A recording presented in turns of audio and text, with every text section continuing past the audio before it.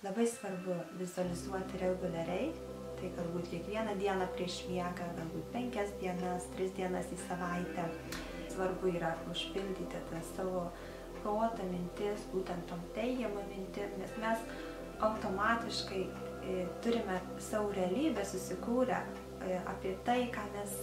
automatiškai galvojame ir viskas yra labai daug primesta iš mūsų aplinkos. Tai, kad mes būtume tiesiog sąmoningi savo gyvenimo kūrėjai, tada reikia būtent sąmoningai rinktis, ko mes norime. Ir kiek laiko užtrunka būtent pasiekti savo e, tikslą ar viziją, iš tikrųjų priklauso nuo kaip mes įsijaučiam, kokią mes energiją susikuriam ir taip pat kur mes esame dabar E, būtent e, mūsų galbūt protas pilnas blogų minčių ar, ar, ar, ar tiesiog stresų ir panašiai, tada galbūt užtruks ilgiau, jeigu mes esame labiau atsipalaidavę ir taip pat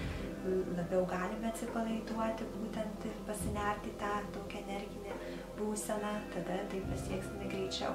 Aš iš tikrųjų ant pirštų nesuskaičiuoju, kiek aš esu visko būtent pritraukusi, e, taip vizualizuodama,